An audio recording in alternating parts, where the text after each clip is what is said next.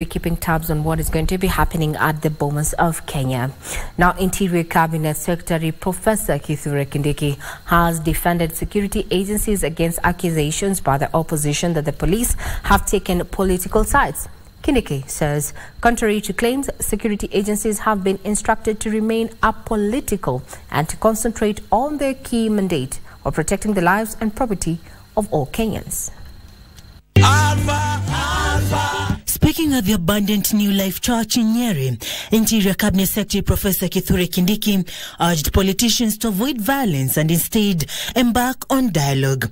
Kindiki warned that no one would be allowed to terrorize or blackmail Kenyans. Hiyo mazungumzo isipofaulu, kusiwe mtu atatishia watu, watu tena ati kwa sababu yale mazungumzo hatujazikizana ati sasa tunarudi kuumiza raia.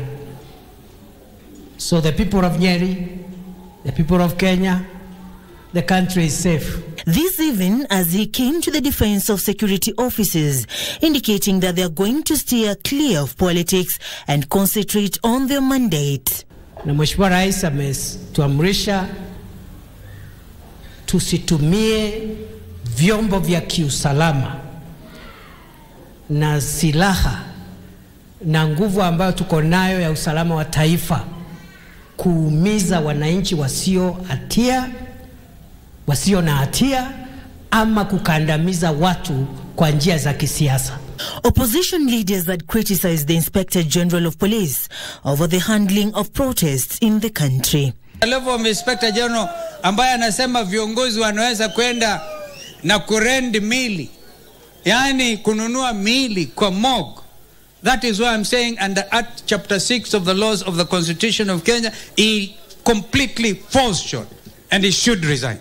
The CS says violence should never be part of the question. Haitawezekana tena katika taifa la Kenya mwanasiasa yeyote, haijalishi ako na nguvu kiasi gani, hawa upande wa upinzani au upande wa serikali, hatutakubali mtu yeyote ya siasa tena kuharibu mali, kuumiza wananchi, kuleta vifo, akijizingizia yeye ati ni siasa anafanya.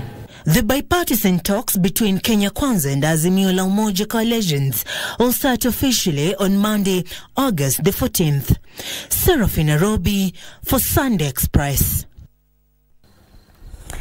Deputy President Rigathi Gachagua says the proposed reforms in the education sector will re-engineer the learning environment to meet emerging socio-economic development demands of the country. Speaking on Sunday Nandi County, Gachagua said the reforms will refocus and